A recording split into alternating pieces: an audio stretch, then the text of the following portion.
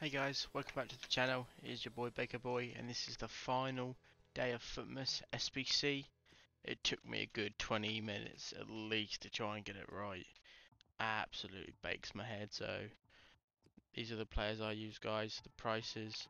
Uh, most people are doing it now, as you see. Some of them I have paid for. I'm guessing they want to be the first ones to get them out, but I can't blame them. So there you are, guys final day of FUTMAS. Let me know in the comments down below what FUTMAS cards you got and if they're a good investment or not or if they're bad. Let me know what players they are because I've got some myself that I've not played with yet so give me a heads up guys. And as you see guys, this is the pack I get.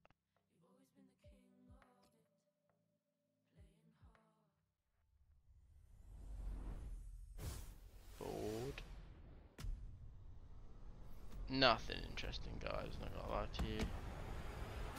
Probably won't be able to make my money back off this, but hey ho.